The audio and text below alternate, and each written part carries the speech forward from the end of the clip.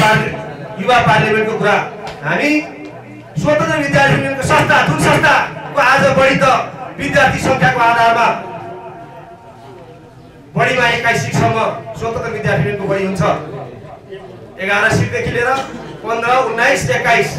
हामी ती बढी विद्यार्थीको इलेक्टेड बढी हो। हामी यो सोभियोलाई किन कस्तो पार्लियामेन्ट बनाउन खोज्दैछौँ भने त्यो सोभियोले पार्षदको रूपमा हरेक कक्षाका टपर विद्यार्थीहरूलाई पार्षद बनाएर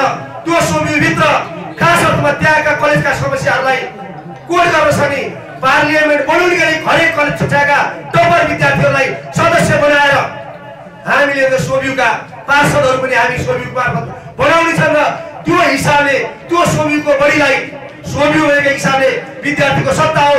त्यसले गर्ने गल्ती कमजोरीलाई पनि खबरदारी गर्ने विद्यार्थी सम्बन्धित क्याम्पसका हरेक विधाका टपर विद्यार्थीहरूको सुझावहरू सङ्कलन हुने खालको परिषद जस्तो बनाएर हामीले त्यो सोभियु पार्लियामेन्ट बनाउनेछौँ। त्यो मार्फत स्वतन्त्र विद्यार्थीको बढीका एकाडेमिक कार्यहरूलाई हामीले प्रोत्साहित गर्नेछौँ। खास अर्थमा सुनि भनेको विद्यार्थी र प्रशासनका बिचका सम्बन्धका सेतु हुन्। ती सेतुको काम आम विद्यार्थीको एकाडेमिक कुराहरूलाई अगाडि बढाउने र एकाडेमिक बसहरूलाई स्वतन्त्र विद्यार्थीको संस्था मार्फत बाहिर लैजाने काम निर्वाचित भएको सुरुले गर्छ त्यो मानेमा। हामीले सुरुमा सुरु संसदको कुरा उठाइरहेका हौँ। गर्ने। त्यो मानेमा परीक्षा प्रणाली सुधारका विषयवस्तुहरू के हुन सक्छन्? त्यसको निम्ति अनेराश्रीले के गर्छ यो दुई वर्ष कार्यकालमा? हामीले ती विषयवस्तुहरू चार नम्बर मुद्दामा उठाएका छौँ। त्यसै गरी शैक्षिक प्रशासन सुधारका विषयवस्तुहरू आज विश्वविद्यालयका प्रशासन प्रविधि मैत्री बन्न सकिरहेको छैन। सहज विद्यार्थीको पहुँच बन्न सकिरहेको छैन।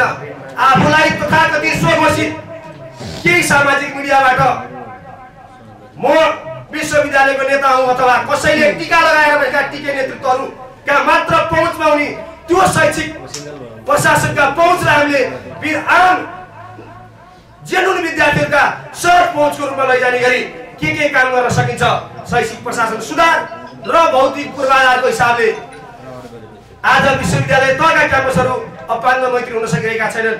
ती पूर्वाधारहरूलाई हरेक विद्यार्थीले पढ्न सक्ने गरी कसरी बनाउन सकिन्छ हो त्यो विषयवस्तु हामीले पाँच नम्बर बुदामा समेटेका छौँ